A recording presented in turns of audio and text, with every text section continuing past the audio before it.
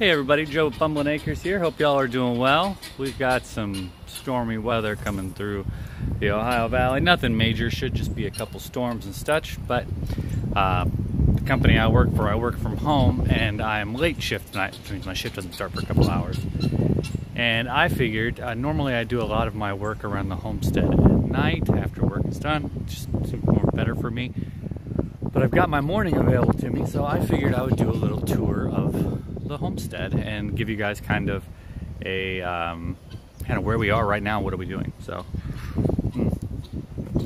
my uh, my property is a little over four acres, uh, southern Indiana. So, um, we'll start with yes, right outside my back door. We live in 2,000 square foot um, manufactured home. Uh, if we stay here long term, I'll convert it into a build a stick home at some point, but that's future plans we'll discuss in another video. But first, you go outside our back door to the right, you go about uh, 20 feet. No, my feet, that might be 30.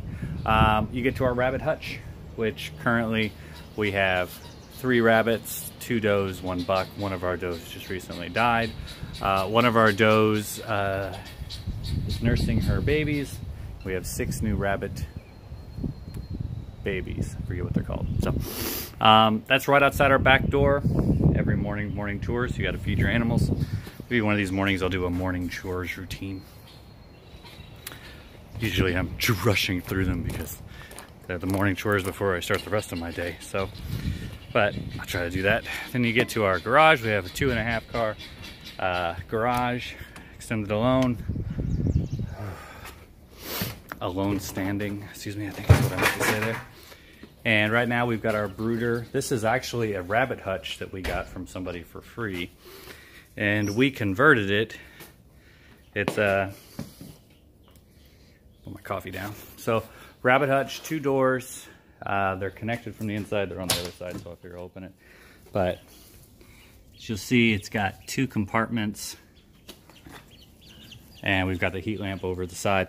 And right now we've got six guinea keets, three ducks, and a chicken, and a little chick uh, in there right now. The three ducks are our own ducks from our own property.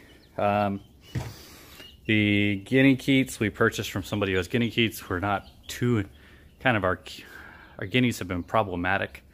Probably another video talking about having guineas and pros and cons we found. Um, but we're hoping as we increase the flock size that they will manage their own a little better rather than we've got two that are just harassing the hell out of our chickens.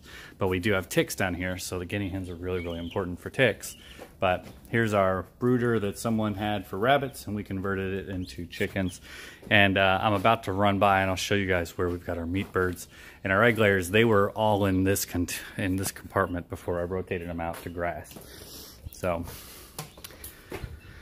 so we've got three chicks, or three ducks, one chick, six guineas in the brooder. You go out to the backyard, right out the backyard. Uh, I've got my meat tractors going. Though, technically, this these are my meat layers. And just to get them comfortable, and fed, I have moved them to the uh, into my tractor for now. And it's just a 4x8 and it's got 15 meat or 14 meat birds in there and a goose. Uh, when they get larger, I've got an area in the back that I will put them on um, and rotate them through that area. But this is just to get them out of my brooder because I needed to, there was too many of them. But those are our Freedom Rangers. We're doing Freedom Rangers, not Cornish Crosses this year. I've got my egg layers, my runner ducks in here. Uh, we found a place we can get runner ducks, so we went and got five runner ducks. And my egg layers, and actually there's I think one or two meat birds in there. But the problem was the uh, they were too small to fit in with the big ones because they kept going out the cage. So I put them with my egg layers.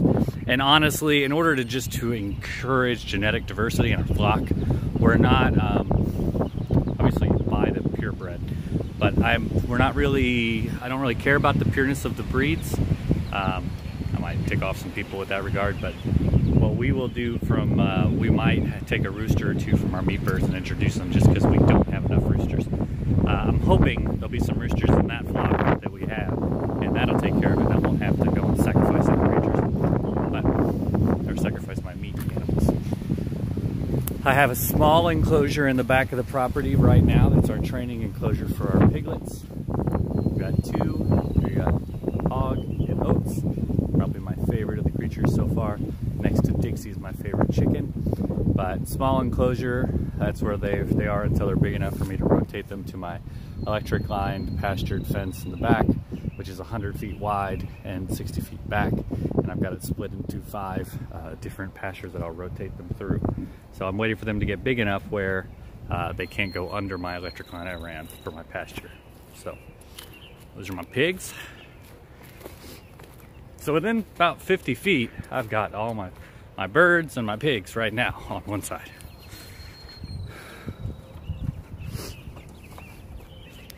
By the way, to walk the perimeter of my around my property, it's only four acres, but um, considering I'm doing this all in one shot, because this is on my phone, you're kind of going to get some dead space of me walking around. So we get to our first of two coops here. We took a shed on the property, put some doggy doors on it. It's windy, so I need to change what I'm doing to get this to stay here. Hard to do with one hand. Okay, so my first of two coops. This has the majority of our egg layers and our guinea keen, our guinea hens are in. Um, we keep the feed in, I'll open it to this side. I put in a couple roosts, roosting areas for our egg layers. I'm actually about to put in some more, but can't really see much in there, but that's our egg layers and our meat bird, our, our boxes, laying boxes are over here. I just got a table saw, so I've been working on learning how to build things, and it is quite an experience. So I'll be making, hopefully making some of this stuff on our own, uh, more customized for what we need. But that's our first of two coops. Here is our second coop. Our second coop right now, this will be with the egg layers, when I rotate them out of their confinement cage over there, I will, before I introduce them to the big flock, I will move them into this smaller flock so they have a chance to get more to size and then um, kind of get the other chickens used to them. Kind of help with the pecking order process. Right now, all that's in here is a mother hen with two chicks that she hatched. So any luck. Like I said, I've got a good amount. I'm hoping, I only wound up with five or six chickens. I'm hoping, um, hoping I'll have some roosters for my egg layers, but we'll see. We go for a walk. I've got my baby enclosure to cover my feed bot, my feed thing. It's watertight-ish.